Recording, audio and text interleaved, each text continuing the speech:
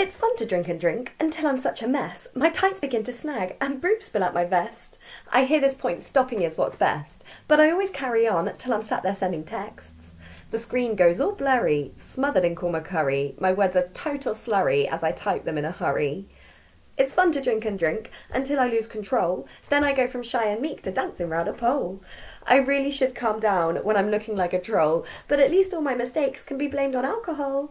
My phone comes out quick when I'm a drunk and horny chick. Glad I don't have a dick or I'd be sending you all pics.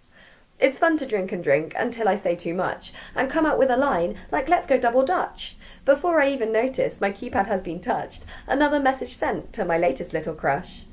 I'm feeling really hot. I can't find my bus stop. Show me what you've got. And he replies with, What?